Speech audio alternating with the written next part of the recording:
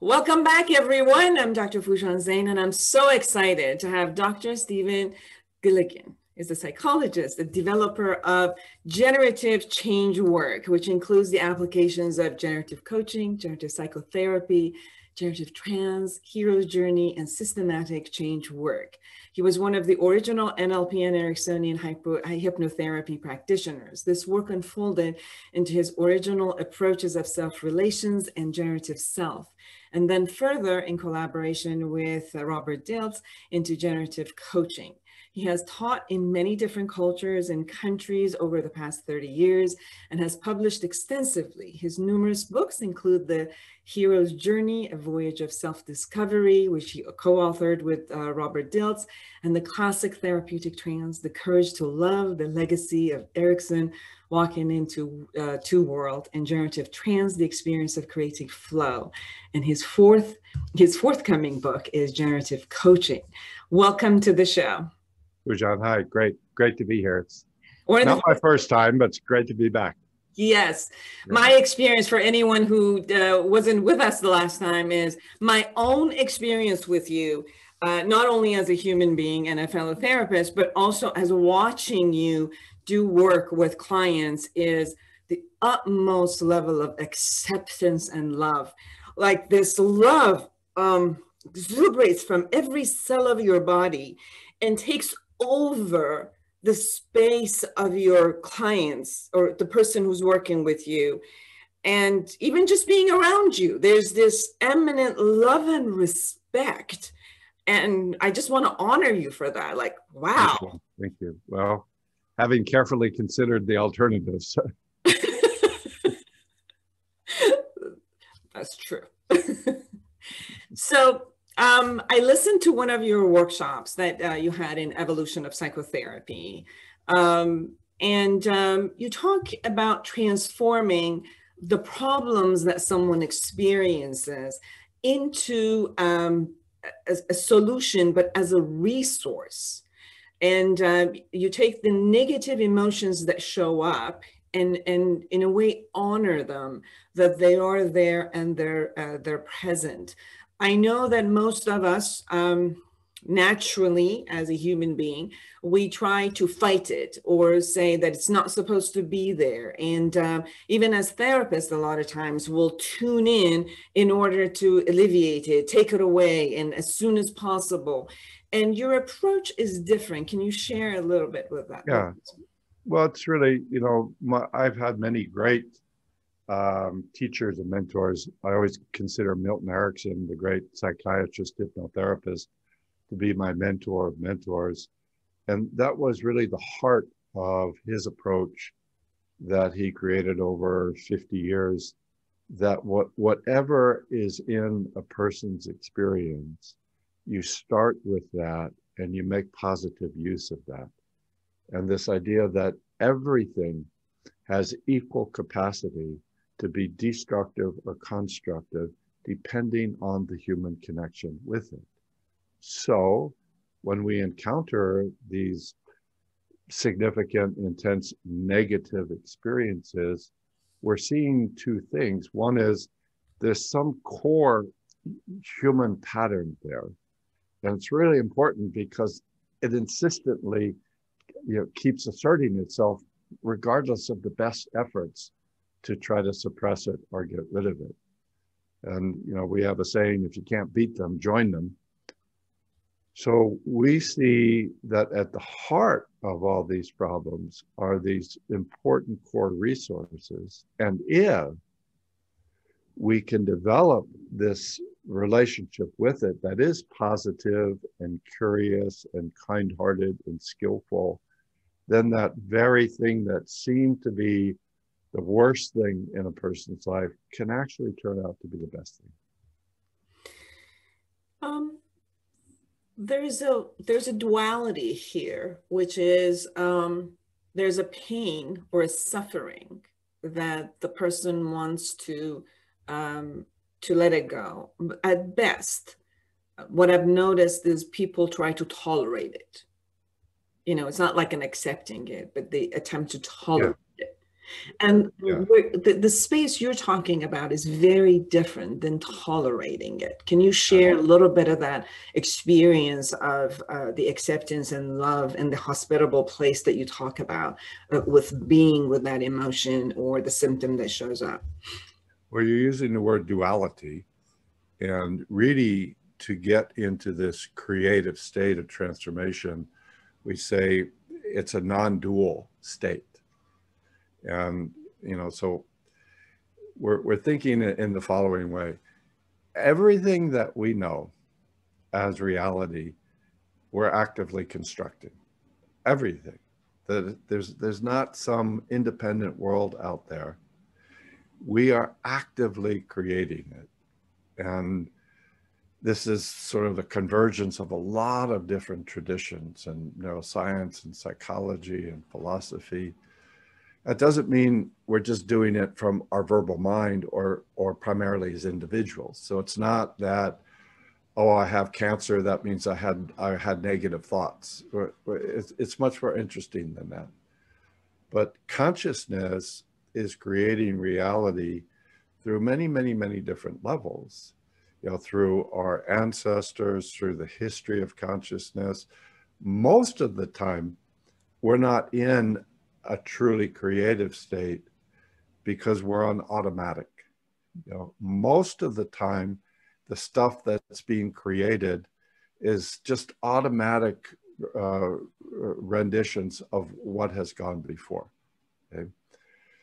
So some of those things are outdated you know, like, uh, you know, my, Milton Erickson used to say, the way that you, uh, you understood love when you were uh, four years old changes maybe when you're 12 and then changes again when you're 20. And then once you're 40 or 50, you better be understanding love in a way different than, than how you did it at four. So, so sometimes these problems develop because we have outdated creative patterns. Sometimes these problems get created because all of these expressions are coming from need, basic human needs. Like we all have a need to be close to other people. And so, you know, you'll see it as a like a four-year-old to say unconsciously say, I want to hug my mommy, I want to hug my daddy and they go and, and say, I need a hug, or I need to climb up in your lap. If, if the human presence, the parent in that case, says, Oh, come here, sweetheart, and, and draws that need into a loving human relationship and connects with it for a while so that that child can be able to experience and develop ways of understanding how to get that need met then you have a positive resource. Mm-hmm. Let's say you had that same need, that same four-year-old, and says, I need a hug, and goes to climb up on the lap and gets pushed off, or the parents are caught in depression or anger, or they, you know, got their own stuff, and they push the kid away and get cold. That human connection, that negative human connection, is what gets wrapped around this core resource of I, I need warmth and, and human connection. And that becomes its representation. And so I, now I have this sense in my, my body and mind, uh, asking people for intimacy is bad. I don't deserve it. I can't get it. If I ask people for it, something terrible will happen. So now that need doesn't go away because it's just vital to every every human being. It goes underground and it starts being expressed in non-human ways. I can't get it through human connection. I'll get it through non-human connection. Maybe that means drugs or maybe alcohol or maybe I get addicted to the uh, internet or you know maybe I just while away in depression. So what we see at the heart of those symptoms is that they're core basic human needs that will continue to assert themselves all through your life. So you can't get rid of them. I'm also hearing, based on what you're saying, is that as the human need shows up, and then because it wasn't fulfilled, then there's another set of, um, let's say, strategies, uh, coping yeah. mechanisms as, uh, right. as, it comes in. Um, do you sense that every time the need shows up, because this way of mechanism is also associated with it, that they all show up at the same time consistently? Or is there a separate, a separate space also between the original need and the coping mechanism? Well, the coping mechanism, I think, what and we, we can see this so clearly, is that when a person goes into the negative version of that experience, I, I want warmth, I, I need a hug, uh oh, I can't get it. They go into what we call neuromuscular lock, that there's a shutdown in the system. And that takes the experience away from the present moment. It takes it away from um, present consciousness. And now it's going to act out without sensitivity, without human connection. And so you get what Freud called the repetition compulsion. So that that negative state is becomes sort of quasi-independent. And then it activates this sense that you learned from the outside, this part of me is bad this part of me has no place in the world. And so if I want to, if, if I want to express love for my family, if I want to be a good person, if I want to be accepted by the social community, I have to really try to get rid of that quote unquote bad part of me. Mm-hmm. So what we're looking to do is any attempt to, to try to change it is like throwing gasoline on the fire. Think of it as a young child or a, a puppy or a cat or a horse. When if you in any way are negative or uh, upset uh, to any of those vulnerable mammals, is that they will they will contract further.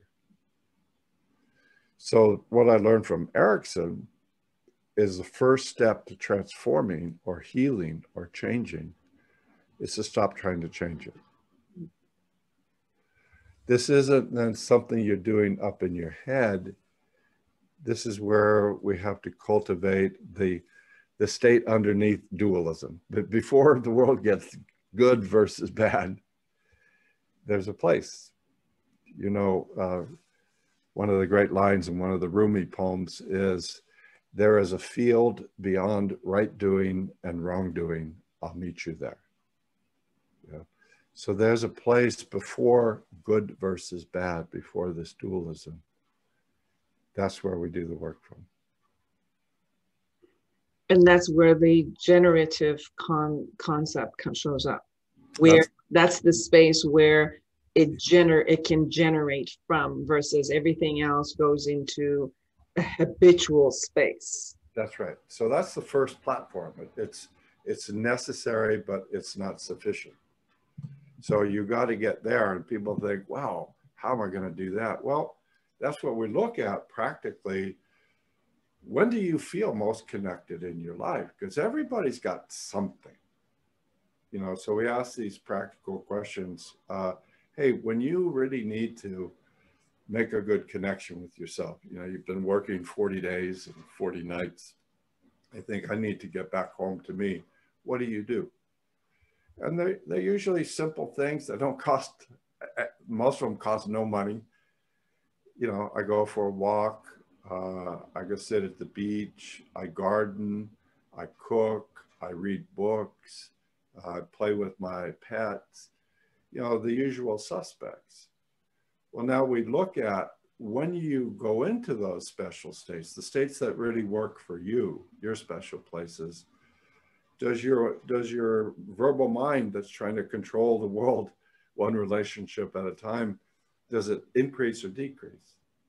You know, people say, oh, I, I start calming down. Are you more or less in control? Well, that's a funny question because I'm not thinking in terms of control. I mean, I, I'm in control, but I don't feel like I have to control.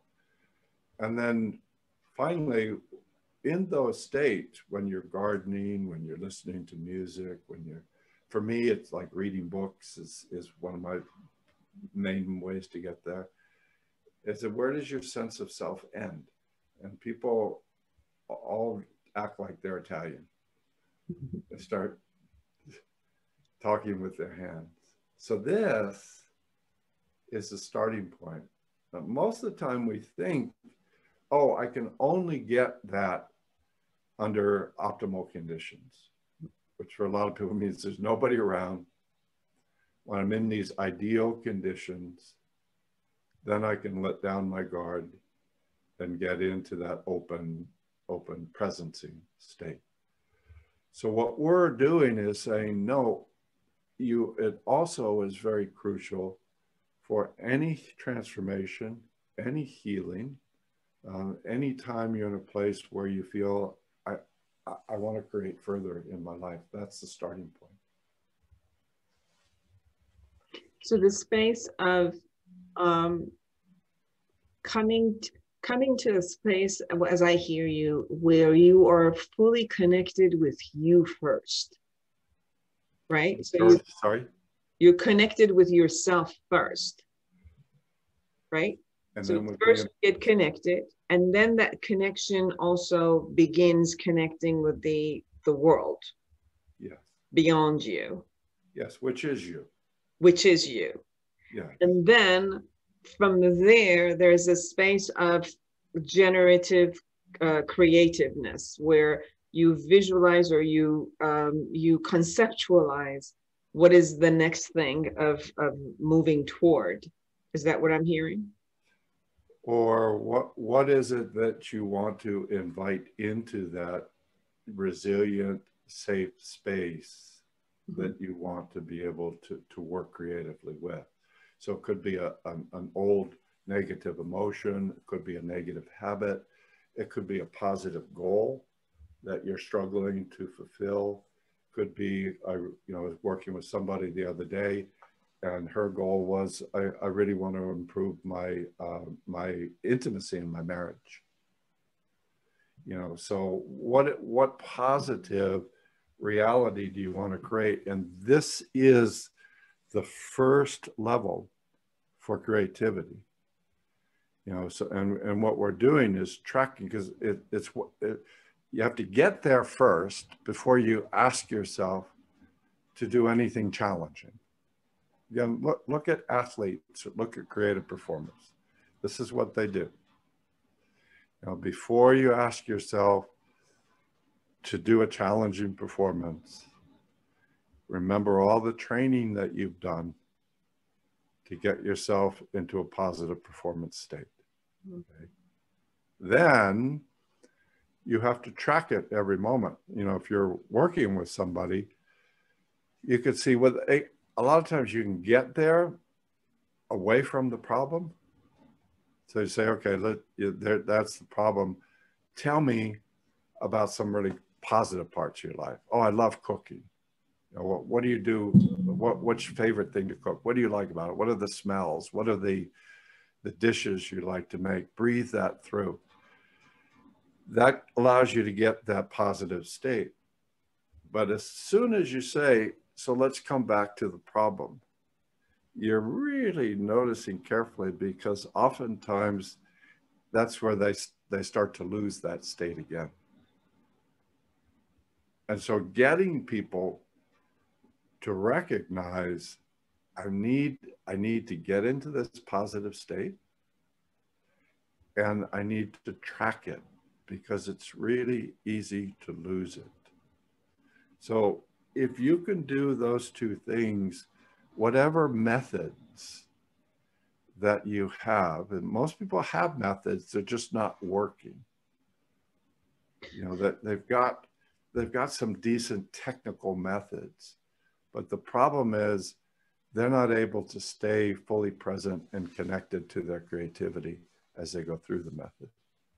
One of the things that shows up for me um, as you were talking, this showed up. I, um, um let's say, challenge uh, this concept of um, what do I eat that is not good for me and yet it's tasty.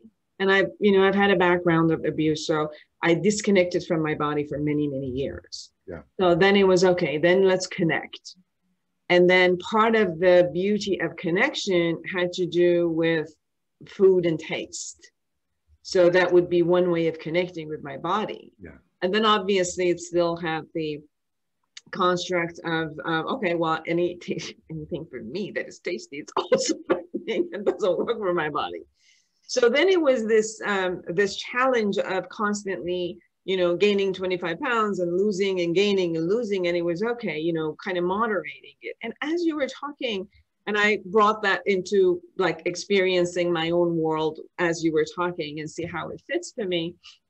And it showed up for me as if when I go into, oh, I want to take care of my body, I go into the taste part versus the whole part.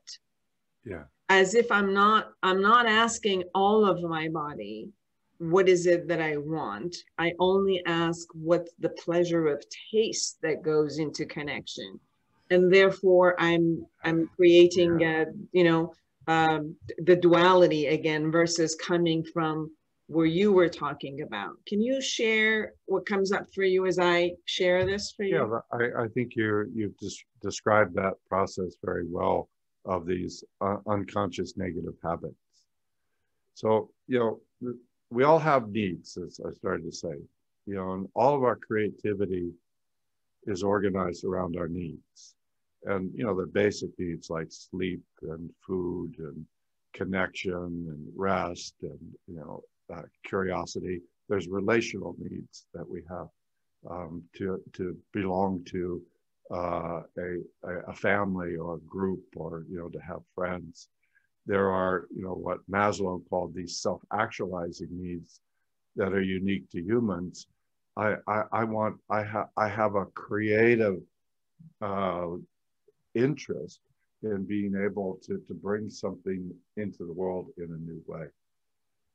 So I, I started to say the positive way that we learn to express and experience those needs is they unconsciously pop out into human relationship. The people in that relationship, when we're younger, that's our family, see them they reflect them back in positive ways. They create a holding place so we get blessing for them. And then we get supported in how to be able to express them uh, in positive human ways. But if you if you say, well, my body needs, you know, to, to be seen and recognized, but instead you go through, which I'm, I'm sorry to hear, uh, Foojan, that there was some abuse there, then your body, particularly at a young age, locks down.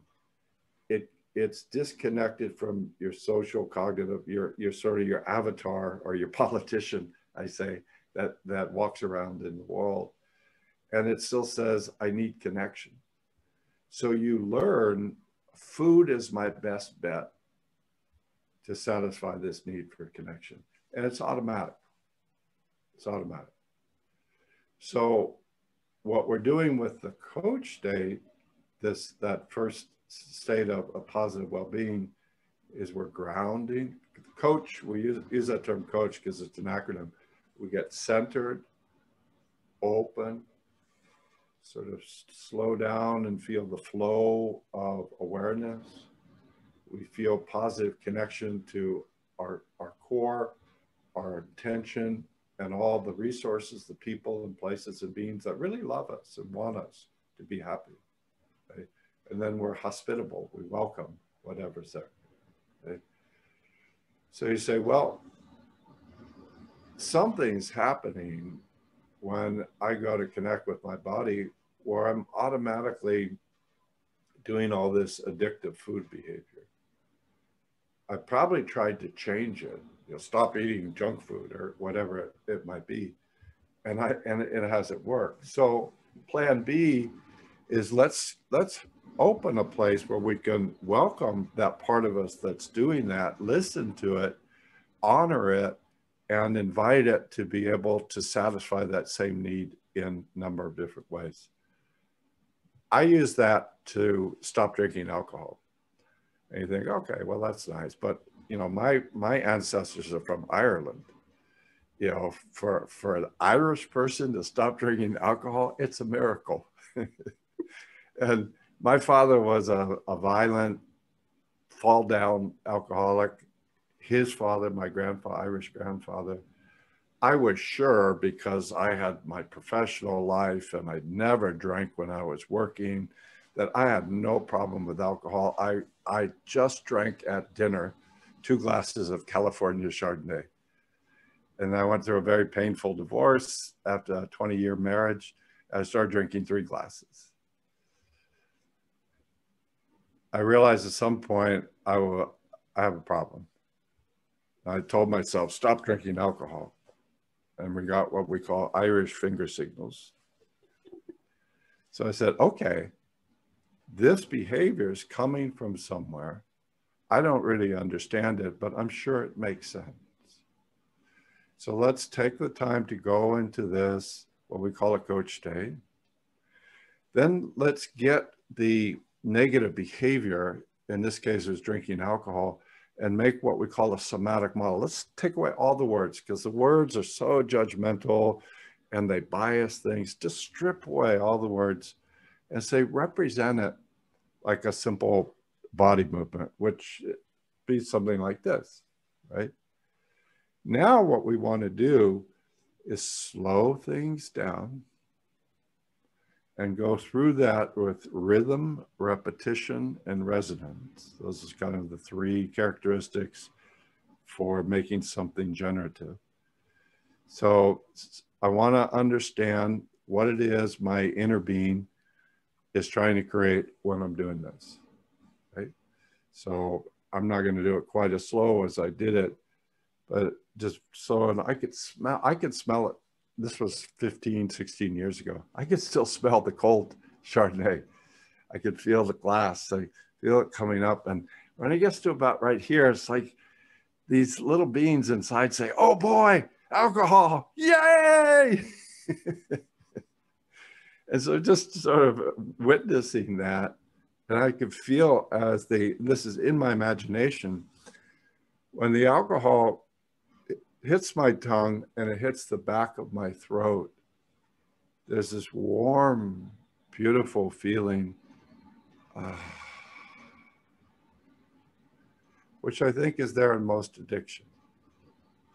I feel you were talking about non-duality. I feel this this oneness warmth of total surrender. And and I I can hear my voice say, I would do anything for this. So that's what we call the positive intention. You know, rather than saying, well, stop doing it, or it's not rational, or you don't have to do that, we can't change it from here. It's coming from a, a deeper language.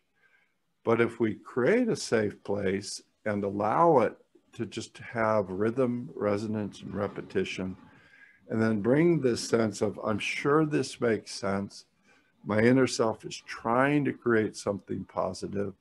Let me appreciate it, acknowledge it, welcome it, and then invite it to begin to develop new ways to do that, that in Milton Erickson's words, fit the needs of the present self. You know, so maybe when I was six, 16, 17, that was the best way that I could achieve that warmth, you know. But a lot has happened since then. So now we get to update and say, I have this need, what the alcohol, what the problem, what the symptom has taught me is that I have this non negotiable need to feel warmth and surrender. And if I don't every day find ways to, to, to satisfy that need, the alcohol will always be there. You know, that's why I tell people, your addiction will always be there. You know, use it as a teacher. See what it gave you. Recognize the damage that you had to go through because in order to be in that addiction, you had to defile yourself. You, you, you had to dehumanize yourself. You know, you, can see when people are in addiction, the shame or, you know, the damage where you realize that you have have really damaged everything and everybody that is dear to you. But you were willing to do that at that core level because the need was so meaningful. So let's let's invite the need. Let's create a safe place. Sense what the need is, and then ask your creative mind to generate new ways to be able to get that, in this case, that feeling of spiritual surrender, spiritual warmth. And I, I haven't, I haven't drank uh, since since that day. Knocking on wood, you know. As you were talking, it dawned on me that uh, as I've worked, you know, with addiction for 30 years with myself and others, um, that actually my clients started uh, getting better when I accepted that it's okay for them to be addicts for the rest of their life. yeah, I hear you. I hear you. Like as a therapist, when I actually accept it, it's okay. Yeah, then, well, you know, that well, obviously went toward them, and then you know they uh, from somewhere else, uh, not from a fighting of I can't do this, but from somewhere else, it began like okay, I just this is not, no longer works for me but that's exactly what had happened when I. Yeah, that, that's right. So, so you know, all these core words like love or acceptance or trust or boundaries, they have ten thousand different meanings, and and as we go through our life, we, we have to keep realizing the meaning I had yesterday may not be the best meaning for me today. Yes. Um, can you tell us a little bit about the upcoming um, uh, seminars and workshop that you have? It's going to be about generative coaching, right? With uh, Robert Dilts. Yeah. So, well, uh, I do. Uh, I always have many workshops upcoming. StephenGilligan.com. Uh, check it out. But the one that I'm doing with Robert, which is a virtual conference, is uh, February 11th. February 11th through 14th. We have done, Robert Dilts and I were students together at University of California at Santa Cruz. That's where I did my undergraduate work. We were in the very first NLP groups. Uh, I went to Stanford for, for graduate school. I had a sharp break uh, from the NLP world. Robert continued on to become one of the luminaries. After about 20 year, actually uh, 25 years ago. I, I, I know it because our, our kids were young. And so I can date it from how old my daughter was. She's 28 now. Um, so we reconnected and we started doing this joint teaching and that evolved into this uh, joint work that we call generative coaching, which is how to coach creativity for individuals and groups and businesses and we have this 15 day certification program. Um, and this four day virtual course is the first module. It's a standalone. But it's really exploring what is it to be able to train mm-hmm. yourself to be creative in every context of your life. Um, generative, generative coaching, everyone. Generative coaching 2021 with uh, Steve Gilligan and Robert Dilts. Online workshop February 11th to 14th. It's 8 a.m. to 1 p.m. Uh, Pacific time. Pacific. Pacific. Yeah, four, four day. And you can find it at stevegilligan.com. Uh, Stephen. Stephen with a P. Stephen, that's. We'll put it uh, under your uh, name here so people yeah. have that. Yeah. Um, and I can tell everyone, you will love it. I mean, I've learned from you so much every time I've watched your work that I'm sure that anyone who has not been, I'm sure the ones who come have, have experienced you, they're going to constantly come back. But uh, the, the ones who have not ex uh, experienced your work that it would be amazing. And Robert, I mean, I've, I've watched Robert Dilts and he's also amazing.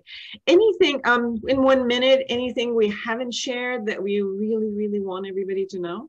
Um, just that this is a practical work that is available to everybody. You know, there are certain places for each of us that sometimes we need a little help from our friends you know, if we, we can't stay in our positive connection. But basically, we're saying everybody's life is a creative journey. And what the work is looking to do is help people find the tools and find the connections so that every day when you wake up, you can think, this is going to be a great day. And at the end of every day, that was really interesting.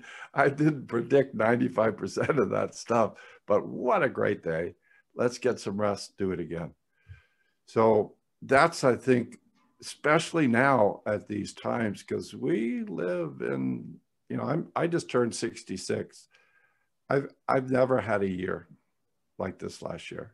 I mean, I've never been in a year for the world. And I was in San Francisco in the 60s. And so we need these technologies, these communities for deep creative change that's what the work is looking to do. We hope that you can join us. Absolutely. So everyone, uh, please uh, join Dr. Gilligan in generative coaching uh, with Dr. Gilligan and Robert Dilts, February 11 to 14. Please go to um, Stephen, S-T-E-P-H-E-N, Gilligan.com to get that. Thank you so much again for so joining me. And um, again, I always learn from you and I kind of like bathe in this amazing experience of love and acceptance from you all the time. So thank you. Thank you for taking your time in this busy time that I know you have to be with us. And uh, can, I, can I end with a Rumi poem? Please. The here the, these are all the Coleman Barks versions. The breezes at dawn have secrets to tell you. Don't go back to sleep. You must ask for what you really want. Don't go back to sleep. All night long, people are walking back and forth across the threshold where the two worlds meet. The door is round and open. Don't go back to sleep. Don't go back to sleep. Keep waking up, folks. We need it. Thank you for everyone. Create an amazing life for yourself and everyone around you. And until next week, bye bye.